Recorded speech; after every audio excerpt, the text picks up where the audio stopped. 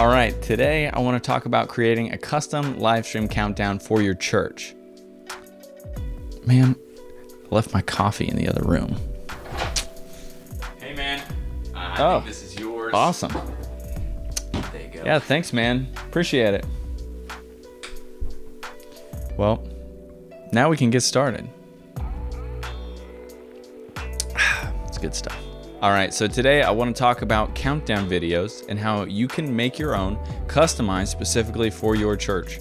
This countdown video will work for in person services, but also for live streams. In fact, later in this video, I'll show you actually how I took our live stream countdown and altered it to create an in person version. In this video, I'm going to walk you through every step of the process. And if you're interested in just a certain part of the process, then feel free to skip around in the timestamps below. With that being said, let's go ahead and get started with the first step of creating a countdown video. So first off, talking about the software that I used, I used Adobe Premiere Pro and Adobe After Effects to create the countdown. I first used After Effects to create the clock, and then I did the rest of it in Premiere Pro. But if you don't want to even mess with After Effects at all, I actually have a link where you can download a five minute countdown clock that you can then overlay onto the rest of your countdown video. So you don't even need to open After Effects and you don't need to create one yourself. If you're interested in that, the link will be in the description below. All right, so with that being said, let's go ahead and hop into After Effects here and start working on this countdown timer. So this is actually the project where I created the countdown originally. You can see here it started as 15 minutes and then I kind of trimmed it down to a five minute countdown and things like that. So you can do any time that you want. You can do five minutes, 10 minutes, uh, what have you, whatever you prefer to do. Now let's go ahead and look at actually how to create this countdown yourself. So first thing, go ahead and create a new composition. Come up to composition at the very top and then hit new composition. Name the composition whatever you want. Uh, use whatever resolution you want, 1920 by 1080 probably is what you want. For frame rate, I would do 24 frames a second or 23.976 to be specific. And then under duration, I would set that for whatever length you want your countdown to be. So if you want your countdown to be a 10 minute countdown, I would set it for 10 minutes. So let's go ahead and do just that. I'm gonna take out that 30 right now. This is 30 seconds. So I'm gonna make this timeline 10 minutes in length and then I'm gonna hit okay. All right, so here's our new composition. First thing we're gonna do is we're gonna right click over here in the layers section. I'm gonna hit new and then text. And then I'm going to just type out a zero, colon, and zero, zero. I'm gonna come over to the paragraph tab on the right-hand side here, and I'm gonna make sure this is center text. Then I'm gonna come over to the align tab, and I'm going to align this horizontally, and then also align this vertically. Uh, if you don't see any of these here on the right-hand side, just make sure to go to window, and then look in the little drop down there. You should probably be able to find those. All right, so then next we're gonna come up to the effects and presets tab. I'm going to search for an effect that is called slider control. So there it is, I already searched for it. I'm gonna click and drag that onto my text layer. Now that we've dropped that onto our text layer, I'm going to click on the little drop down menu right here on my text layer. And then I'm going to hit the drop down menu under text. And then I'm gonna look at this source text right here. And there should be a drop down menu right next to the source text. If for whatever reason it's not showing up, you can click on this little swirly thing right here, click on that, and the drop down menu should appear now. So I'm gonna click on that. This is now where it actually gets a little bit more complicated. I'm going to basically edit the code that is giving this text instructions on how to operate. So I'm basically gonna drop in um, a line of code that basically tells this text to act like a countdown timer. So I actually have the line of code that you can copy and paste yourself if you want to. So if you want to copy and paste this text yourself and create this countdown yourself, you can with that code that is in the description below. But if you don't want to do that, like I said before, the link is also in the description below if you want to download the actual countdown that you can just overlay onto your footage in Premiere Pro or something like that. So either way, both those things are down in the description below. So now where to paste that code is we're gonna click right here on this little bit of text right here. Um, and then I'm gonna delete that text and then I'm going to paste that line of code in there. So if I double click on this and open it up, there it is. That's the whole thing. So it's in there and I can click away now and it's good to go. So now it's basically telling um, this text to act like a countdown. So now we can close that whole drop down menu. So I'm gonna click text and just close that down. And then I'm gonna come over to effects and I'm gonna open up that drop down menu. And there is our effect that we just dropped in, slider control. I'm gonna open that up. And so now we just create a couple keyframes. So I'm gonna start at the very end of the timeline. I'm gonna come all the way over here to the end of the timeline. And I'm just going to click on the little stopwatch next to the slider, drop that keyframe down, and then I'm gonna come back to the very beginning of our timeline. Then I'm gonna come over to the little value next to slider, and I'm just gonna click and drag this up until I get to the desired amount of time, which is 10 minutes, what we set this timeline to be. So I'm gonna drag it, and there we go, 10 minutes, um, which is 600 in slider value here.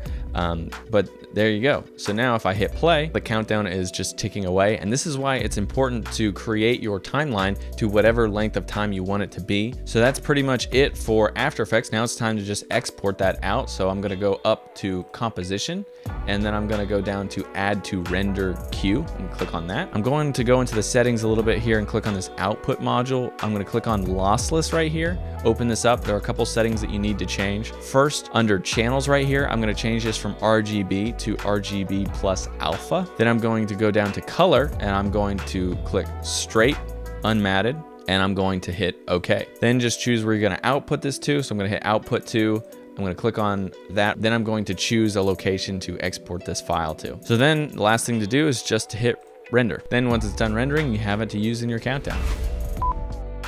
All right, so now let's talk about what's actually going in your countdown video. So we have our countdown timer. Now we need to fill the countdown with some kind of material, whether that's B-roll video that you've taken around your church or motion graphics or regular graphics, anything like that. You need to compile all of that and put that together in a folder that you can actually access and then have with you when you create this video. So this is a real quick rundown of the folder structure and everything that I have in our video. So this is the main folder and this is everything that I have in there. I have assets, which was just miscellaneous things that I might have wanted to try. I don't think I ended up using anything from here. Then I have motion backgrounds. I have B-roll. So this is all clips from around our church. I basically went through all of our old footage and found anything that I might want to use, whether that's uh, interviews that we did, testimony videos that we did, or just random B-roll that we've shot around the church over the years, even video from old projects, different things like that. And I just, anything that I thought I might use, I just copied and I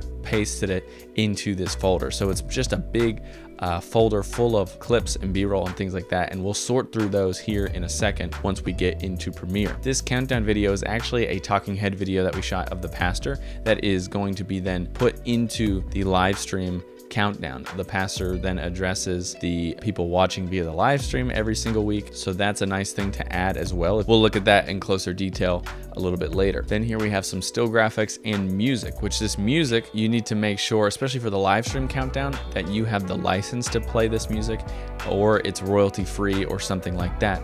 Um, I got this music from Soundstripe because they're fairly inexpensive and uh, they have a decent selection of music for the price. So I licensed these songs and now we can use them in this live stream video. And then we have overlays, which is just the countdown that we exported from After Effects. I put it in this folder. We have project files where we have our Premiere and our After Effects project files. That's where I save those. Then lastly, a renders folder where we export the videos that we create in Premiere to this folder. So we have those. So now opening up Premiere, this is what my project actually looks like. I have a couple sequences here. I have my B-roll sequence. I have an in-person countdown sequence. I have a live stream sequence and then an outro that I made as well. To end the live stream off, I made an outro video. So first, let's take a look at the B-roll sequence that we have here. So right here, this is all the clips that I may or may not have ended up using for the live stream countdown. So if you're gonna use uh, B-roll and you're gonna use random clips that you've shot around the church, what I would do, this is a pro tip, don't go through the folders and just kind of find the right in and out points for the each clip and then drag it onto the timeline that way. What I would suggest doing is taking all the footage. So I'm just gonna grab this whole B-roll folder and I'm gonna click and drag everything onto the timeline here. And you can see we got a lot of footage here that I gotta sort through. But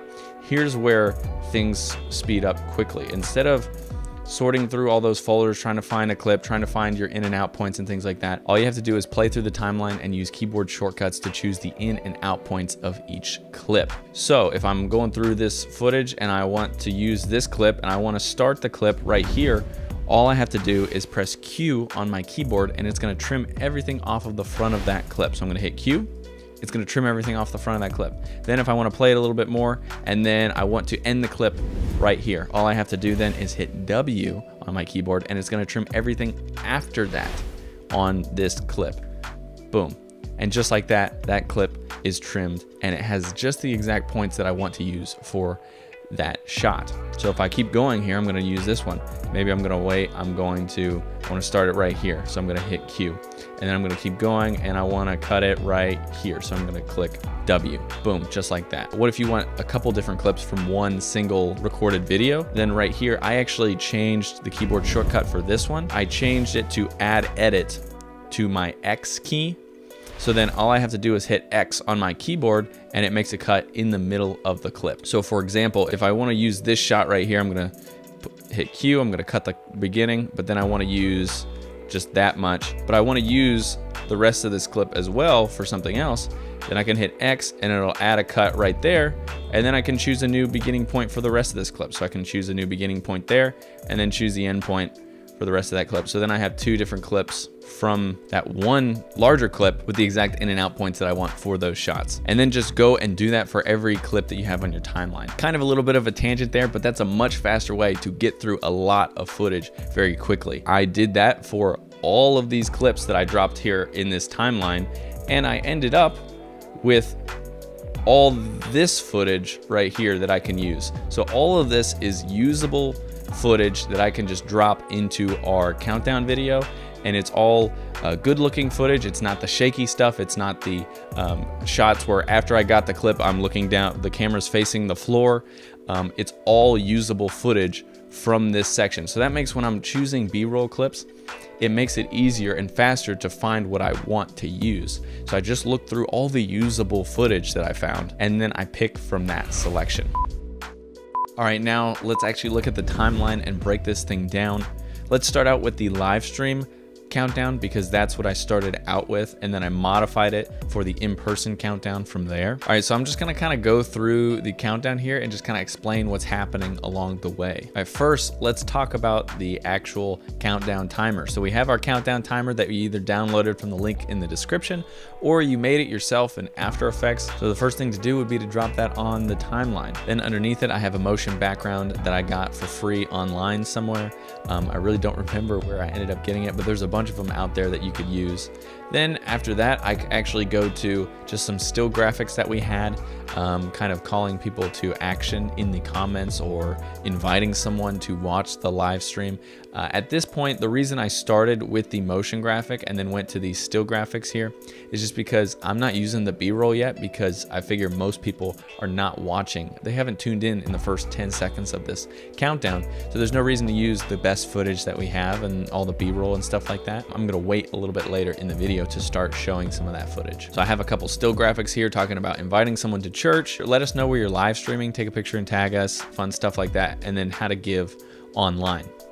So I let those play for a few seconds each. And then here I go back to the motion graphic background and the timer up at the front. Then during those still graphics, I just move the countdown timer to the bottom corner there. So it's still there present. And then I just move it back up to the middle when I go back to the motion background. So now here's the point where I transition into the B-roll that I have to use. So the title text wipes off the screen and then I fade the countdown back to the center and I got this actually right here. All of this is basically a Zoom transition that I downloaded. Again, I just found it online for free. It fit with the music. I don't you normally prefer weird transitions like this, but um, if you go and watch the full countdown video that I have linked below, you can see that it fits with the music really well. So I added that. I felt like it needed something to move into that B-roll uh, a little bit better. And it kind of works. It works pretty well. So then it moves into the countdown timer in the center of the screen and then B-roll playing underneath it. So a couple important things to note about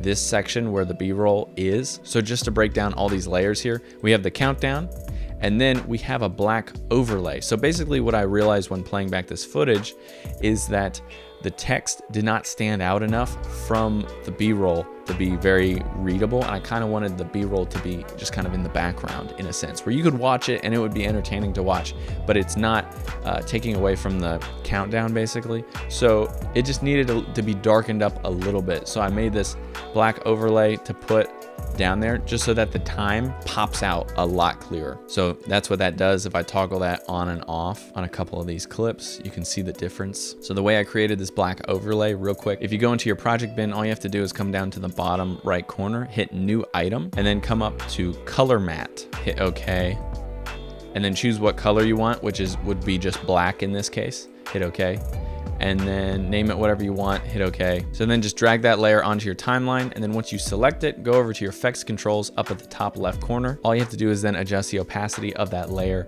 to your liking, whatever works best for you. So right now I have my opacity of this layer at 70%. You can see if I change it, how it changes. So right now it's at 70%. That's what I landed on. All right, so moving on, these two adjustment layers right here are for color grading these clips. One of them is just a standard LUT that I applied to all the footage. And then the other one is just color and contrast tweaks that I did to certain groups of footage. And because there's a black overlay on top of this footage, the color grading stuff isn't as important as it would be if that was the prime focus was the video. But I went ahead and just kind of tweaked some of the colors just to try and make each clip, no matter when they were shot or what camera that was used or where the location was that we shot, um, they look as similar as possible color-wise and color scheme and saturation and contrast-wise. So those are what those two adjustment layers are doing. And then of course we have the footage um, down below. Also in the description, I have a link to the full countdown video if you want to watch the full thing front to back without me scrubbing through it. This B-roll just kind of continues to go on like this. And I just kind of ordered the clips in a way that I thought was a good sequence of ordering the shots and the footage and things like that. I went from, you know, like worship shots to preaching shots uh, to different things happening around the church from small groups to testimony videos um, to then kids ministry stuff to our other campuses, things like that. Basically, I just compiled a wide variety of different shots and things. So from kids ministry stuff to VBS to outreaches to worship to special events, things like that. I just compiled all this stuff and put it all together in a in an order in a sequence that I thought made sense and just kind of worked for the video. So then here about the two minute mark, I kind of switch it up just because if someone has been watching watching this for a while, I just want to kind of keep it fresh. So I kind of fade everything out here and then I go back to those still graphics for a second that I played at the beginning. So people, you know, do you have a prayer request? Leave it in the comments, invite someone to church or how to give those things. I just put those still graphics there just again to switch things up and uh, give people an opportunity to comment or give things like that if they didn't see it the first time around when it played at the beginning of the video. Then from there, we fade over and transition into the talking head video that we shot of the pastor addressing those who are watching online. So I fade the music down at this point and I have the talking head video, which is only about a minute long or so um, with a couple motion graphics layered on top of that. And then at the end of that video, I fade it back into a couple shots of B-roll of worship and things like that, especially since we're about to start with worship. I figured um, some worship B-roll and footage would be appropriate right here. And then I also added on top for the last minute, the last 60 seconds, service will begin in however many seconds is left on the countdown. So I added that on top as well. The talking head video ends at exactly like the one minute mark. So then it's just 60 seconds of B-roll and then you get into the end of the countdown. So the music fades back up at that point and then we have some more clips. I ended on this one clip that I liked and I actually just held it out a lot longer. So it's up there for like 10 seconds or so, um, just to kind of sit there as it counts down. And then it fades to black and that's the end of the countdown video. Also something that I didn't mention, but I transitioned songs at some point in the middle of it, just at a spot that I thought felt right and felt good. I wanted to have multiple songs in there just again, just to keep things fresh and interesting so I didn't feel like they were watching and listening to the same, you know, 30, 40 second loop on repeat for, you know, four or five minutes. So just something to keep it fresh and again, keep it a little bit more interesting to watch and listen to. So that's the entire breakdown of our live stream countdown. Now for the in-person one, I just copied and pasted everything that we did for the live stream one. The only difference really is that I did not keep the music. I muted the music because we'll play something else in person in the sanctuary. And then as well, I just cut out the video that was addressing the live stream audience, the talking head video. So instead in that place, I just had more of the welcome graphic. So literally just to keep it simple, I put this same title graphic that I played at the very beginning on here and I just left it up for, you know, about a minute, the same time amount of time that the talking head video was. And then again, transition into the ending that the service will begin in a few moments. So that's really the only difference there for the in-person to the live stream countdown is that I took out that talking head video addressing the online audience. And then finally, we can take a look at the outro video. So the outro video is again, I just kept it simple. I had a couple clips of B-roll that I wanted to use again. And then I had another title graphic that just says, thanks for tuning in. See you next week. And I played one of the intro songs that I used uh, for the countdown video underneath it and just let that run for 60 seconds and then again fade to black in the video. That's it for the outro video. All right, so I think that about does it for breaking down our live stream countdown video and how you can create your own custom one for your church. I hope that makes sense. I hope nothing was too confusing there. Feel free to let me know if you have any questions about this entire process. Maybe I can do some more specific in-depth tutorials on certain aspects of this process in order to help you out in those specific areas. And of course, if you end up creating your own countdown video after watching this video, please send it to me. I'd love to see it. My email is there below. If you want to send me any of your videos that you end up doing, I'd love to see them. Uh, love to see what you guys are creating and what you guys are making. And of course, if you're looking for more videos to save you time and frustration of figuring out digital media all on your own, be sure to subscribe because I'll be making more videos like this in the coming weeks and months. Also, if you're looking for more personal and in-depth training and guidance, you can click a link in the description below where you can schedule a call with me personally, and you can check out some of our courses our courses that we have out now and our courses that are yet to come, uh, mainly involving shooting high quality video for your church, whether that's for shooting B roll, testimony videos, or live streams as well as you can pre-order a ProPresenter Quick Start Guide course that will be coming out here soon. So if you're interested in any of that, the links are in the description below. And again, thanks for watching, and I'll see you guys in the next video.